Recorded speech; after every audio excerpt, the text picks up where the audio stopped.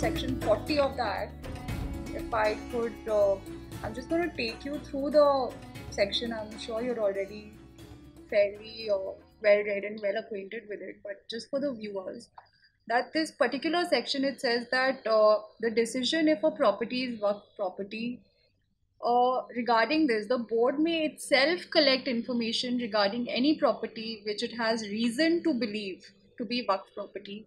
And if any question arises whether a particular property is Waqf property or not, or whether a Waqf is a Sunni or a Shia, it may, that is, the board may, after making such inquiry as it may deem fit, decide the question. This and one other provision in the Act, which is Section 52A, which provides for penalty for alienation of Waqf property without sanction of the board.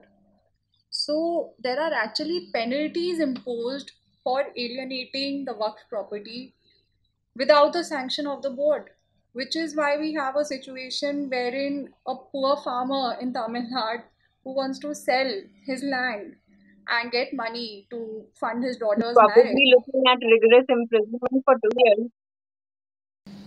Absolutely, I mean, he's not able to sell his own land because apparently the whole village is Waqf property. I am uh, this this uh, thing i- are, are there any such provisions in any other laws uh, governing religious bodies or supposedly regulating religious uh, religious uh, properties? I don't think there are such uh, provisions in any other law.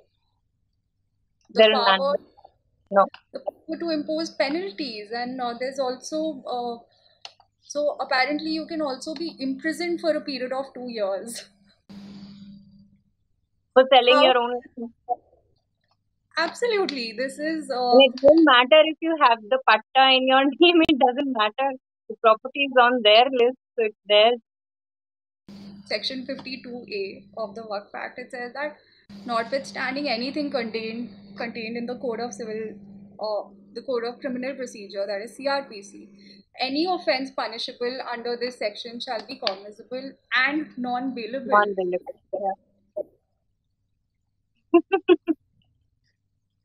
so, as far as you know, I guess it's not as if we don't have a. I think we have a tribunal in TNHRC.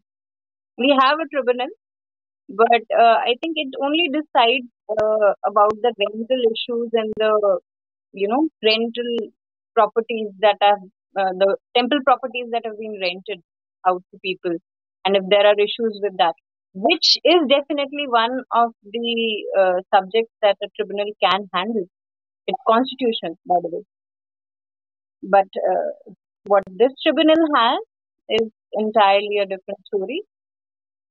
And only thing that a civil uh, judge or the district magistrate gets to do is to, you know, ensure that the decree by this tribunal is, uh, you know, enacted. Enacted or what do we call that? So essentially, these are powers and uh, you know which are unsurpassed, which are not there for or which are not enjoyed by members of any other community.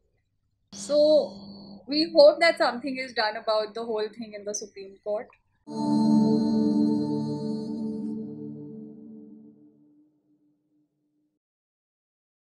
Please remember to subscribe to us and switch on the notifications for this channel.